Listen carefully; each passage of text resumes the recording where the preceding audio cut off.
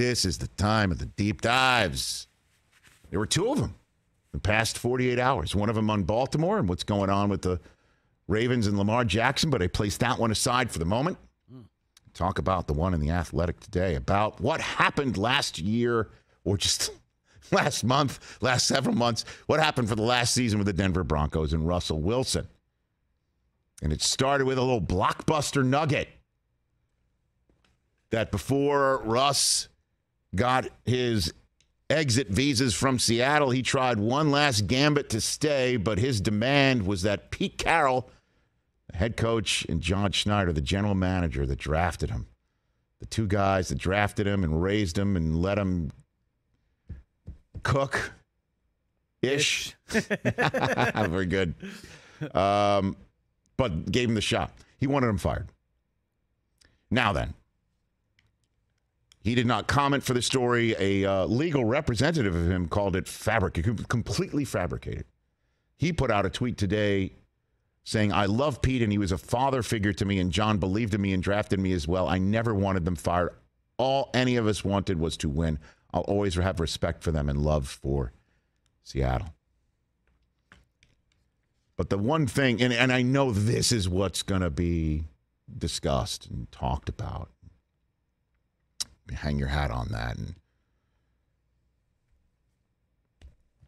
you know, I, I, I, he says it's not true. We'll have Mike Sando on in hour number three to try and source this best we can. And um, the thing that that I get hung up on is this office that Russell Wilson was allowed to have in Denver last year. Because they got into the whole concept of what happened in Denver last year. And why, as I tie this all together from the news that Russ wanted Pete and John Schneider gone, he wanted the GM gone. He wanted everybody that's been part of that great success story in Seattle gone and him staying and then he goes to Denver and he brings in his own, you know, quarterback coach. He brings in his own staff, and, and Denver said yes. And the one thing about they said yes to was an office in the Broncos facility. And they put the office, according to this article, on the second floor where all the executives were.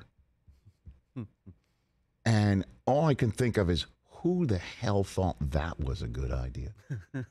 now, the interesting part about it is what was going on in this office, according to this story and, and, and name quotes from players, is a lot of good stuff. Is that Russ put all of his his ideas for the offense on a grease board on uh, on the wall and a lot of his positive visualization quotes and thoughts on a wall and he would have players in there and they would have a shoot the you know what session on Tuesdays and his personal coach would chime in as well and you know it did lead to a lot of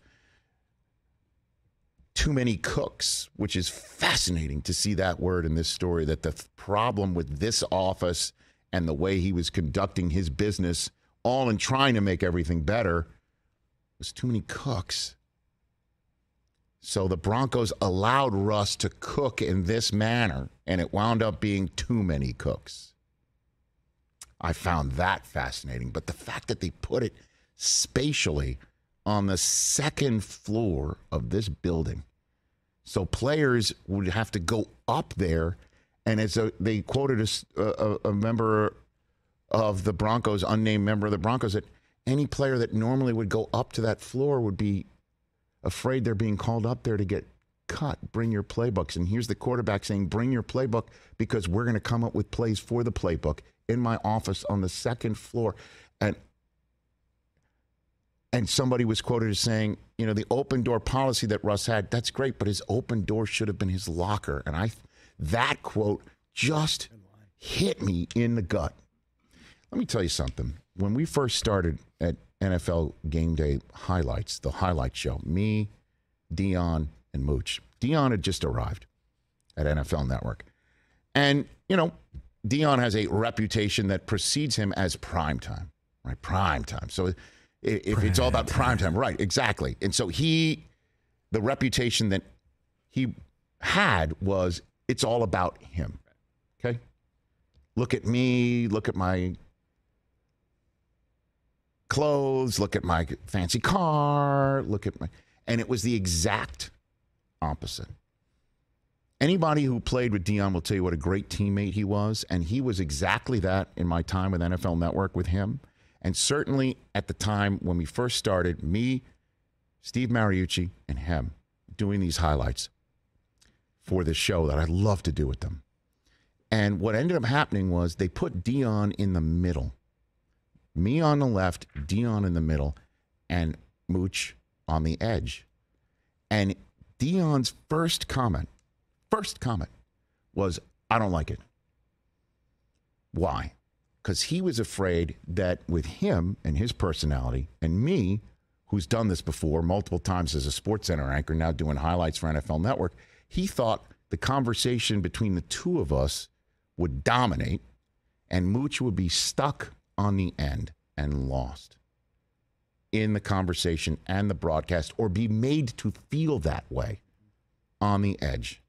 And I was blown away because, yes, spatial placement means a lot. It means a lot in terms of spoken and unspoken words. And when they allowed Russ to have a, uh, an office on the second floor, an office, period, and then an office on the second floor, as if he's part of the masthead, and him not wanting a coach player relationship anymore, he wanted a partnership.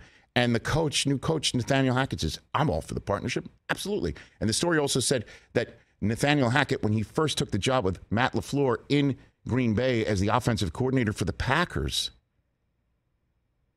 saw Rodgers push back all the time on LaFleur's ideas for the playbook until they started playing and then got along and then they had a collaboration. And he, it, the uncomfortable nature of what he saw between coach and quarterback, he didn't want for him and Russ. So he was much more malleable to what the quarterback wanted. What a holy heck of a mess. Because what that says unspoken spatially, I'm up here, you're down here. Mm-hmm. I'm up here with the coaches, I'm up here with the, the management, you're down there. Now, apparently, management spoke to Russ at the end of the season, according to this story, about this relationship. And Russ is like, fine, no more office. And wound up spending the last couple of weeks in the locker room. I'm wondering if that was what Jerry Rosburg brought into being when he took over as the interim head coach. And again, how did they play last couple of weeks that season? Much better. I don't know. Again, I'm I'm definitely connecting my own dots here. But to bring it all full circle, the coach that Russ apparently wanted the Seahawks to fire Pete Carroll for, and again, he's denied this, was Sean Payton. Look who he's with now.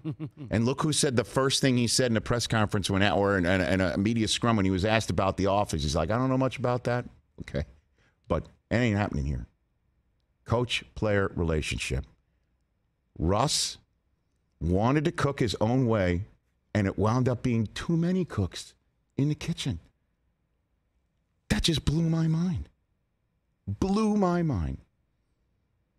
What a what a holy heck of a mess that clearly was last year.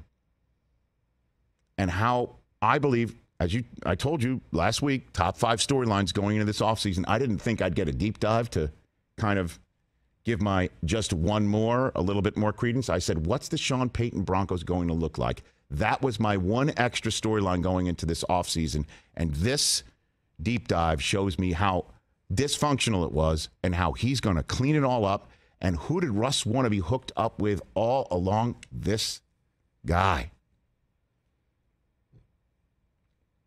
One of those teams on his list that he was going to get traded to, right? When the Seahawks were like, Saints. yeah, no, we're going to do that. Saints. On the list. On the list. That's right. So the Broncos are going to be your new Raiders. no, year? they're not. I still need. I still. I still gonna have. A, I need to see it. I still have a need to see it. But I hope that Russ has seen that what he did last year in conducting his business with that office and everything else that he set up. Yeah. Do it another way. Do it Sean's way. You wanted him, you got him. Do it his way.